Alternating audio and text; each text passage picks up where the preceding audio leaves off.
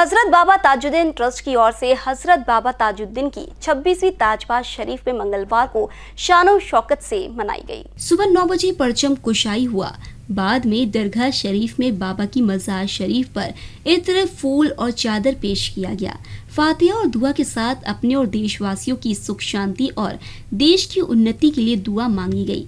Trust के अध्यक्ष प्यारे जिया खान उपाध्यक्ष डॉक्टर सुरेंद्र जिचकार, सचिव ताज अहमद राजा, ट्रस्टी हाजी फारूक जीकर बावला, मुस्तफ़ा टोपीवाला, बुरजिन रंडेलिया गजेंद्र पाल सिंह लोहिया हाजी इमरान खान ने श्रद्धालुओं से उपस्थिति की अपील की है। शाम को सलातो सलाम होगा। साढ़े छह बजे लंगर खाने में रमज़ान महीने के मौके पर रोजेदारों के लिए इफ्तार का इंतज़ाम किया गया, जिसका सभी जायरीनों ने लाभ लिया। ट्रस्ट की शाही जामा मस्जिद में शबे कदर पर दुआ मांगी गई। कैमरा पर्सन राजकुमार मोहड़ के साथ अभिषेक पानसी बीसीएन न्यूज़ नागपुर।